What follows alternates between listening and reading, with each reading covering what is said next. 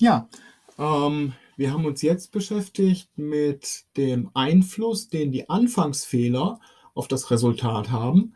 Aber äh, wir haben ja auch schon mal gesehen, naja, also Rechner rechnen nicht absolut korrekt. Und äh, da müssen wir uns als nächstes überlegen, wie groß ist eigentlich der Fehler, den ein Rechner beim Rechnen macht. Und äh, warum macht er den Fehler überhaupt? Nun, die letzte Frage ist äh, sehr einfach zu beantworten. Und äh, zwar einfach nicht alle Zahlen, äh, nicht alle reellen Zahlen sind tatsächlich auf einem Rechner darstellbar. Im Allgemeinen haben Sie endlich viele Stellen zur Verfügung, um eine Zahl darzustellen. Das heißt also, selbst wenn wir mal annehmen, unsere Zahl hat äh, eine endliche Dezimaldarstellung ähm, und äh, nehmen wir also eine Basis im Allgemeinen entweder für einen Rechner ist eine Basis meistens b gleich 2 oder wir werden meistens rechnen hier mit b gleich 10. Nehmen wir mal an, diese Zahl hat eine endliche äh, Dezimaldarstellung. Ich möchte die so, wie sie da ist, in den Rechner bringen. Dann kommen so ganz viele Probleme auf mich zu.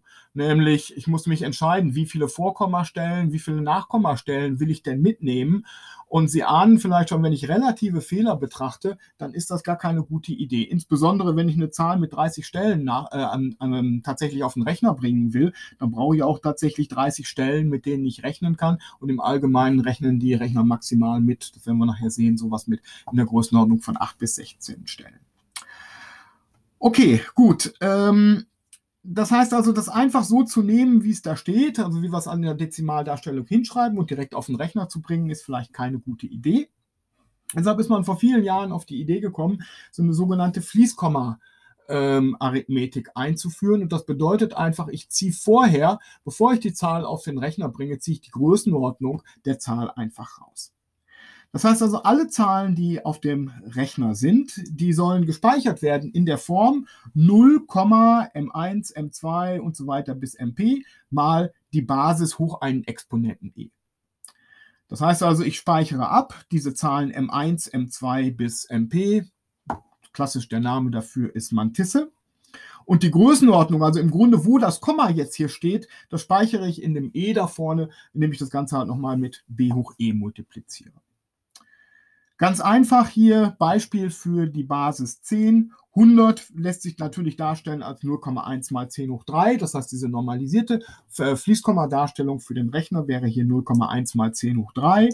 Oder 7 zum Beispiel lässt sich darstellen als 0,7 mal 10 hoch 1.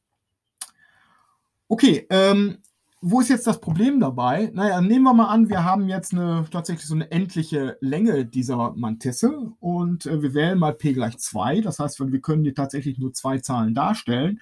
Dann ist natürlich klar, die Zahl 124 wäre jetzt in unserer Darstellung 0,124 mal 10 hoch 3. Ähm, ja, aber äh, ich habe nur zwei Zahlen zur Verfügung hier vorne, also nur zwei Stellen zur Verfügung. Das heißt, äh, ich kann die Zahl, die ich hier habe, überhaupt nicht darstellen. Das heißt also, allein schon dadurch, dass ich eine Zahl habe und die auf den Rechner bringen muss, mache ich einen Fehler. Und äh, wir wollen uns jetzt hier damit beschäftigen, wie groß dieser Fehler tatsächlich ist. Okay, äh, erstmal sehen wir, es ist nicht jede Zahl darstellbar und die Menge aller darstellbaren Zahlen, die nennen wir auch Maschinenzahlen. Das sind also alle die Zahlen, die sich darstellen lassen, genau in dieser Form hier vorne 0, M1, M2 und so weiter bis MP mal B hoch E. Und äh, dabei ist äh, in einer Basis B und dabei sind für immer, wenn man so eine Arithmetik definiert, muss man also sagen, in welcher Basis will ich rechnen. Also auf dem Rechner ist es immer 2. Äh, ich muss sagen, wie lang diese, wie viele Stellen ich mitnehmen will, also wie groß die Mantissenlänge ist. Und äh, ich muss eigentlich auch noch sagen, mit dem E hier vorne, wie groß darf das E denn werden? Denn man ahnt schon, also das E darf wahrscheinlich auch nicht unendlich groß werden. Äh, das werden wir hier komplett unter den Tisch fallen lassen, weil es im Normalfall eine Beschränkung ist, die tatsächlich in der Praxis äh, keine, äh, kein, kein Problem ist und nichts ausmacht. Okay, gut. Ups, jetzt habe ich hier was verschoben. Ach, es ist wieder da. Ähm, okay, ähm, jetzt überlegen wir uns zunächst mal, wir haben eine reelle Zahl, wir wollen die auf den Rechner bringen und äh, die ist vielleicht auf dem Rechner nicht darstellbar. Das heißt also, was müssen wir tun? Im, Sprach, äh, Im, normalen Sprachgebrauch muss man sagen, man muss die runden auf die nächste Zahl, die tatsächlich darstellbar ist. Genau das machen wir auch. Ich, äh, im, äh, Im Lernskript äh, habe ich es ein bisschen formaler gemacht.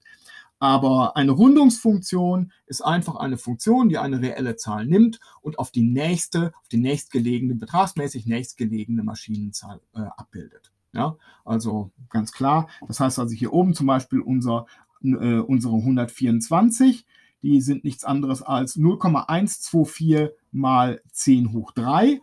Und äh, 0,124 ist nicht darstellbar, aber 0,1 mal 4 mal 10 hoch 3 ist nicht darstellbar, hat zu viele Stellen, aber 0,12 wäre darstellbar und 0,12 mal 10 hoch 3 wäre tatsächlich die nächste, die nächstgelegene Zahl.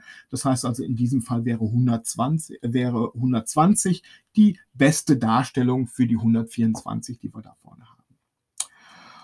Okay, Gut, ähm, wir sehen auch sofort, diese Rundungsfunktionen, die sind nicht eindeutig, ja, denn äh, wir haben die Möglichkeit, immer eine 5 nach oben oder nach unten zu runden. Ja. Deshalb, wenn ich, wenn ich ja jetzt nicht 125, nicht 124, sondern 125 äh, genommen hätte, dann wären 120 und 130 zwei Maschinenzahlen, zwei darstellbare Zahlen, die gleich weit entfernt sind.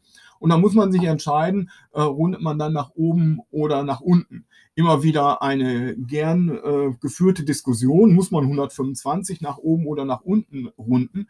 Naja, letzten Endes gilt, es ist natürlich völlig egal. Ja? Also es sind beides vernünftige Definitionen. Man muss sich nur vorher entscheiden, was man will. Und äh, so hat man dann 1985 tatsächlich diesen, diese ganze, äh, diese Rundungsfunktionen, auch diese Darstellung der Maschinenzahlen, die Darstellung von Gleitkommazahlen, hat man normiert in einer, äh, in einer IEEE-Norm. Und äh, da ist ausdrücklich zum Beispiel zugelassen, ich glaube, vier oder fünf verschiedene Rundungsformen. Ja? Also man kann sich im Grunde eine aussuchen. Für uns ist das alles jetzt hier völlig belanglos. Die, das Einzige ist, die Rundungsfunktion muss jeweils auf die nächste Zahl abbilden, wenn es denn eine gibt. Ansonsten darf sie sich eine aussuchen. Okay, ähm, jetzt wollen wir uns überlegen, wie groß ist denn der Fehler, äh, den man macht, wenn man eine Zahl nimmt und auf den Rechner wirft. Und äh, wir nehmen mal an, wir haben eine Zahl gehabt, wir kennen die Zahl nicht und wir wissen aber, die Rundung dieser Zahl ist 0,44 mal 10 hoch e. Ich mache es hier jetzt mal ganz konkret. Ja? Also ähm, nachher ähm, werden wir sehen, dass es völlig egal, welche Zahl wir nehmen. Okay, äh, wenn die Zahl gerundet wurde auf 0,44 mal 10 hoch e in unserem System, also in unserer Arithmetik mit p gleich 2 und b gleich 10, dann äh, muss das ja die nächste Zahl gewesen sein, die nächste Maschinenzahl gewesen sein. Das heißt also, wo kann das x herkommen? Naja, das x kann höchstens nach unten höchstens 0,435 sein, denn äh, wenn es kleiner wäre, wäre es ja sonst noch 0,43 gerundet worden und oben gerade 0,445, wenn es größer wäre, dann wäre es ja nach 0,5 gerundet worden. Und das Ganze natürlich wieder mal 10 hoch e. Okay, gut. Äh, das heißt also, wir wissen, dass x muss in Wirklichkeit aus diesem Intervall hier vorne kommen. Und das kann ich auch so formulieren. Ich weiß, dass x minus die Rundungsfunktion von x kleiner gleich 0,005 mal 10 hoch e ist. Okay, ähm, das kann ich aber für alle Zahlen machen. Ja, es ist völlig egal, ich habe hier das 0,44 der Anschaulichkeit halber genommen, aber es ist völlig egal. Äh, es steht immer hier ein 0,005 mal 10 hoch e. Okay, was ist das 0,005 mal 10 hoch e? Naja, also erstmal klar, das 10 hier vorne ist die Basis, in der ich rechne. Das 0,005, naja, diese 5 hier vorne, das ist gerade die Stelle, wo ich mich entscheiden kann, ob ich nach oben oder unten gehe. Und das ist gerade b halbe, ja, 10 halbe in unserem Fall. Und dieses 0,00 hier vorne, wo kommt das her? Das 0,00 hier vorne sind die Anzahl der Stellen. Und ich muss noch einen weitergehen. Das heißt also, es ist gerade b hoch minus p minus 1, was da vorne steht. Okay, gut. Das heißt also, äh, wieder im äh, Lernskript habe ich es ein bisschen genauer gemacht. Aber es ist klar, der absolute Fehler der Rundungsfunktion äh, ist, wenn ich weiß, dass das Ergebnis irgendwo in der Form ist 0, irgendwas mal 10 hoch e, dann ist der absolute Fehler in der Größenordnung b halbe mal b hoch minus p minus 1 mal b hoch e. Jetzt interessiert uns aber nicht der absolute Fehler, uns interessiert immer der relative Fehler. Und ich möchte jetzt hier mal ausnahmsweise den relativen Fehler gegen die Rundungsfunktion ausrechnen. Ganz ehrlich, weil das einfacher ist. Für das andere braucht man eine Fallunterscheidung, die einem nichts bringt, also keine Einsicht bringt, äh, aber das Ganze nur äh, erheblich verzögert. Wir haben ganz am Anfang mal so eine Voraussetzung gemacht, nämlich dass das M1 ungleich 0 sein soll. Ja, also es soll immer, es soll da nicht 0,01 stehen oder so, sondern es soll da immer 0,1, 0,2 irgendwas in der Größenordnung stehen. Okay, äh, das ist jetzt, wird jetzt tatsächlich wichtig, denn wenn das M1 ungleich 0 ist, dann kann ich zumindest mal sagen, diese Zahl, die hier vorne steht, die ist mindestens vom Betrag her 0,1 mal 10 hoch e. Ja, also ganz egal, welche Maschinenzahl ich habe, wenn die, wenn die auf dem Rechner dargestellt wird als 0,m1 und so weiter mal 10 hoch e, dann ist der Wert der Zahl mindestens 0,1 mal b hoch e, denn hier vorne an dieser Stelle steht ja keine 0. Okay, gut. Äh, jetzt schreibe ich mal den, äh, jetzt schreibe ich mal hin die, ähm, den Fehlerquotienten, also den relativen Fehlerquotienten mit der Rundungsfunktion, also ein bisschen anders als wir es kennengelernt haben x minus Rundung durch x Betrag geteilt durch die Rundung von x zum Betrag. Naja, das hier vorne ist der absolute Fehler, den haben wir vorhin abgeschätzt und da wussten wir, das ist b halbe mal b hoch minus p minus 1 mal b hoch e.